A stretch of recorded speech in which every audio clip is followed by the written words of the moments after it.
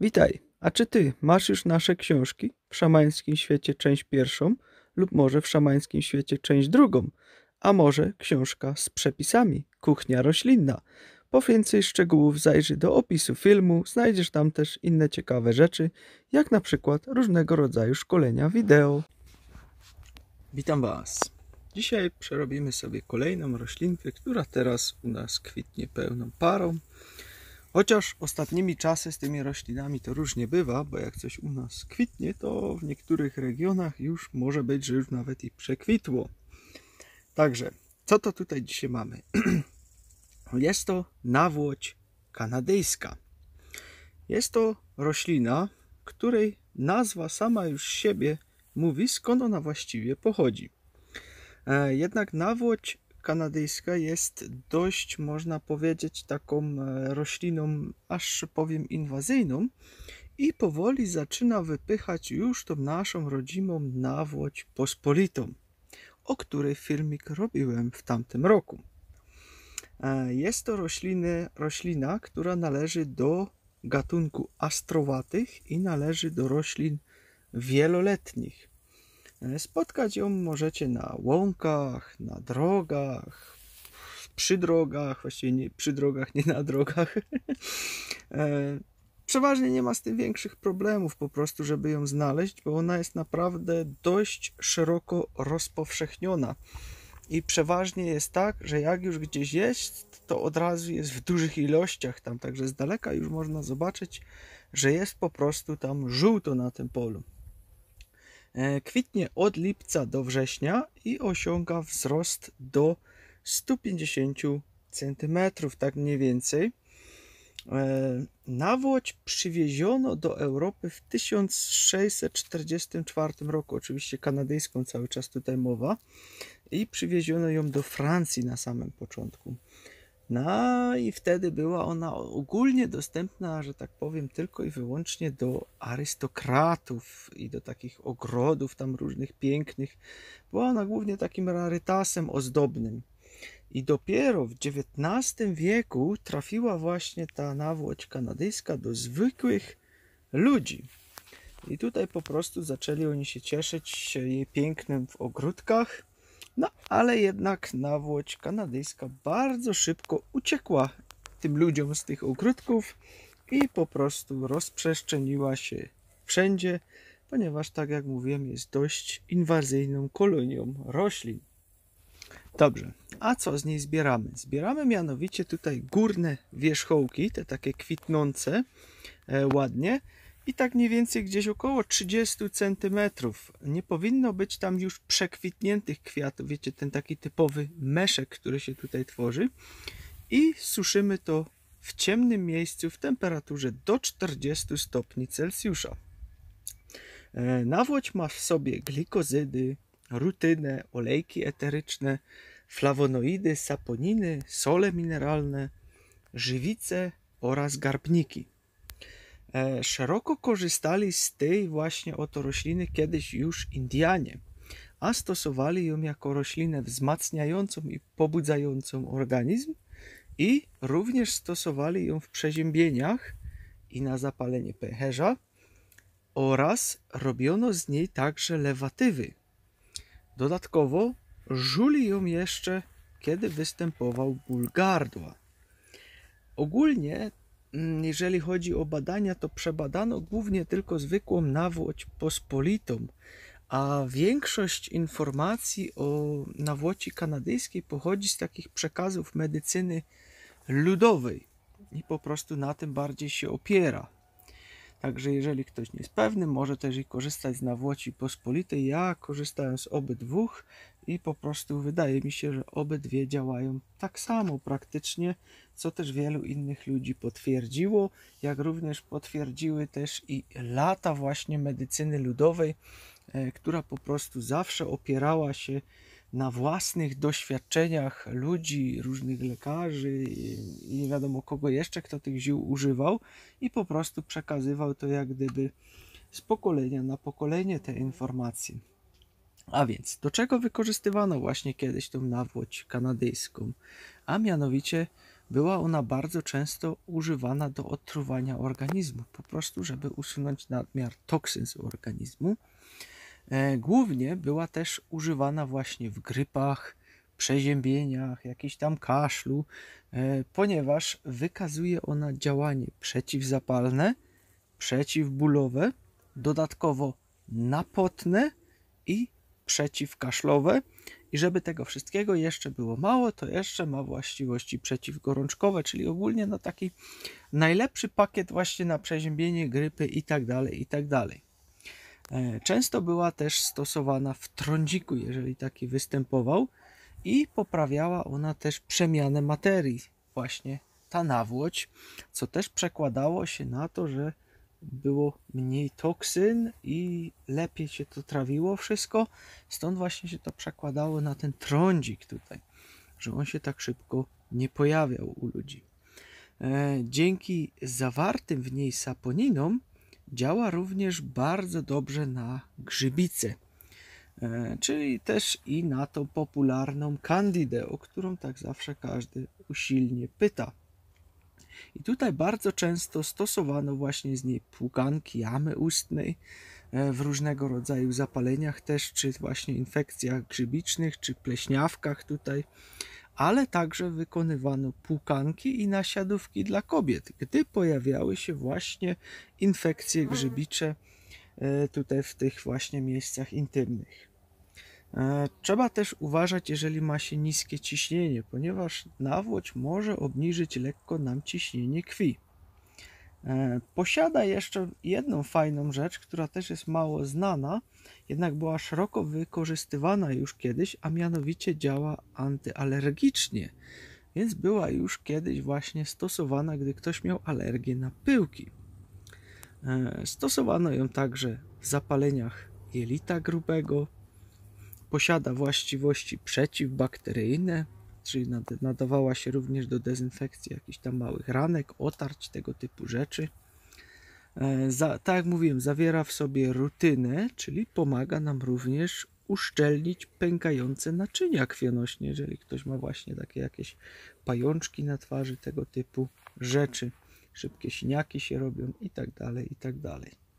Poprawia nam również trawienie w żołądku oraz wchłanianie w jelitach i pomaga usunąć nadmiar amoniaku i sodu z organizmu. E, w swoim składzie posiada także jeszcze kwercetynę, która również jest dość cenną substancją. E, po nawłoć sięgano również, jeżeli kogoś po prostu dopadały biegunki. E, także posiadała właśnie też e, właściwości hamujące te biegunki. E, ze zgniecionych nasion i ziela właśnie robiono sobie kiedyś okłady na bóle mięśni, w reumatyzmie, w bólach korzonków, tych popularnych, tak jak się to kiedyś mówiło, jak ktoś się zawsze schylił i mówił ała, ała, moje korzonki. Także właśnie do tego też to stosowano w jakichś bólach ścięgien, E, w różnego rodzaju chorobach skóry, przy jakichś trudno gojących się ranach, czy jeżeli jakieś czeraki występowały, to właśnie tutaj ładnie robiono okłady z tego. Mm, dodatkowo mm, nasiona również rzuto w paradontozie, jakichś zapaleniach jamy ustnej. E, stosowano ją również na oparzenia, przede wszystkim tutaj po to, by nie wdała się jakaś infekcja, to właśnie ze względu na tej właściwości antybakteryjne. Jednak chyba najbardziej popularnie stosowana była właśnie w jakichś ciężkich zapaleniach nerek oraz e, zapaleniach pęcherza. Tutaj bardzo szeroko po nią sięgano i jest wiele, wiele różnych przekazów właśnie dotyczących tych informacji. A ze względu również na działanie moczopędne oraz rozkurczowe, sięgano potem na nawłoć również, jeżeli występowały bolesne kamienie nerkowe. E, kto miał, ten wie, jaki to niefajny ból, także tutaj również e, pomagała pozbyć się troszeczkę tych kamyczków. Mm. Również sięgano po nią przy jakichś większych problemach skórnych, takich jak na przykład łuszczyca, egzema, AZS, toczeń, e, trądzik różowaty i tak dalej, i tak dalej. Tutaj również e, przynosiła dość fajne efekty. E, również w niewydolności krążenia niekiedy po nią sięgano, jednak tutaj potrzebna jest konsultacja właśnie z lekarzem prowadzącym, czy aby na pewno można ją tutaj zastosować. E, przemywanie naparem tutaj zrobionym e, właśnie z nawłoci również hamuje nam świąt skóry, jeżeli ktoś by taki problem miał.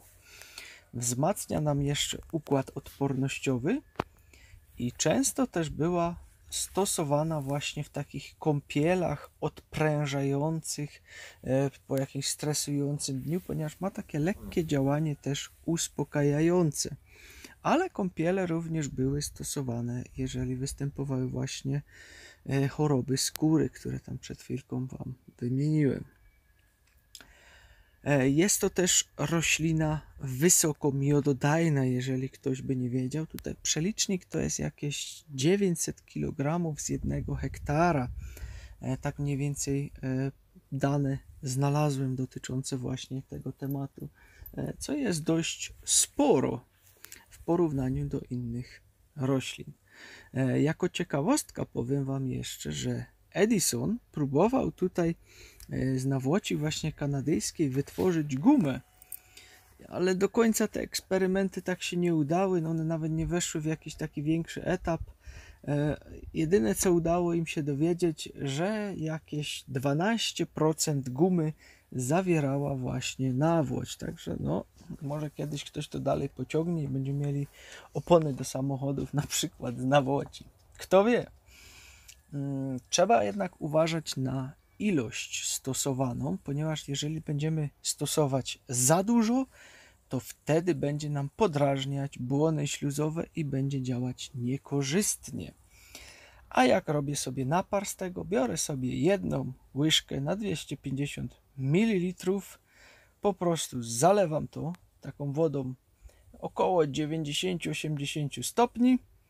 Czekam 20 minut sobie tutaj na to, przecedzam i piję sobie jedną taką szklankę rano i jedną wieczorem.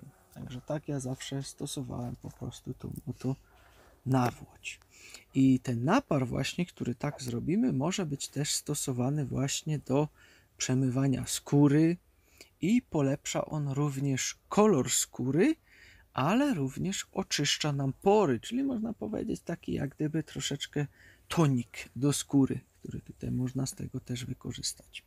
Możemy zrobić sobie też i nalewkę, a do tego będziemy potrzebować jakieś 100 gram ziela, które zalewamy pół litra 40% gorącego e, płynu, czyli woda ognista 40%, ale ona musi być gorąca tutaj. I zostawiamy to po prostu na 14 dni, filtrujemy i brałem sobie mniej więcej między 20 a 30 kropli e, w jakichś 100 ml wody 3 razy dziennie. E, co ciekawe, tą właśnie nalewkę można używać też do pędzlowania jamy ustnej w jakichś zapaleniach, takich różnych rzeczach, to można pędzelkiem to sobie tutaj wypędzlować. I inna ciekawostka, tą nalewkę możemy stosować jeszcze do smarowania stóp w grzybicy właśnie stóp i tu wtedy stosujemy rano i wieczorem, czyli po prostu wysmarowujemy stopy, czekamy aż wyschnie, ubieramy się i wieczorem powtarzamy. E, okłady robimy sobie z rośliny, e, którą po prostu rozbijamy, albo najlepiej byłoby to moździerzem ją rozbić. Jeżeli nie mamy, to na jakiejś desce, na przykład e, wałkiem do robienia ciasta czy czymś, następnie nakładamy te rozbite rośliny na bolące miejsce, załóżmy kolano i bandażujemy to po prostu. Gdy ten właśnie oto kompres wyschnie, to należy go wtedy zdjąć. E, z takich ostrzeżeń to uwaga dla osób, które mają alergię na astrowatę, ponieważ ona do tej grupy właśnie należy, także trzeba się spodziewać, że może będzie tutaj wtedy też reakcja. I przy obrzękach, jeżeli występują one przez nerki i serce. E, tutaj właśnie warto skonsultować to z lekarzem. Nie wolno wtedy korzystać na własną rękę. Oczywiście w ciąży i podczas karmienia.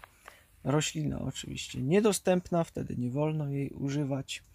A jeżeli chodzi o używanie u dzieci, to po konsultacji z lekarzem najlepiej e, to omówić, czy można w ogóle ją zastosować u dzieci. Także kolejna roślinka przerobiona. U nas jest akurat tej roślinki sporo, bardzo sporo.